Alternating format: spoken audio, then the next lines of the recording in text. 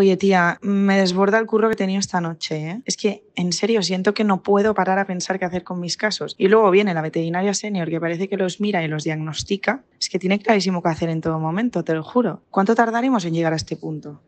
Pues mira, yo estoy igual. Yo creo que es cuestión de tiempo y de experiencia, la verdad. Pero por cierto, hablando de esto, he visto que CUAS hace una formación gratuita donde desvelan las siete claves para abordar tus casos clínicos como lo haría un diplomado europeo. ¿Nos apuntamos o qué?